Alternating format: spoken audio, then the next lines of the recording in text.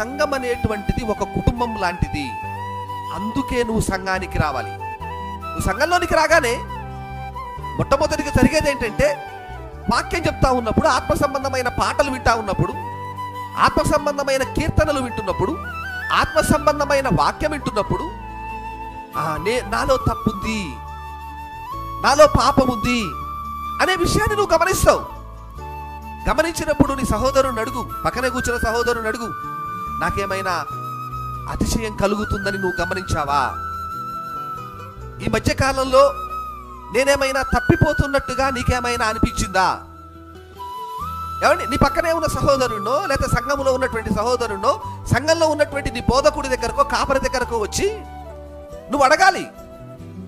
ఏమని అడగాలి? బ్రదర్ నాకే నా- నేనేమైనా తప్పిపోతున్నట్టుగా మీకు అనిపిస్తుందా?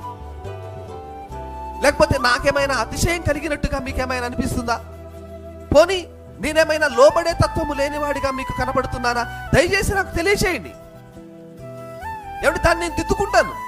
అని నువ్వు అడగగలుగుతావు చూసావా? అప్పుడు నువ్వు దేవుడికి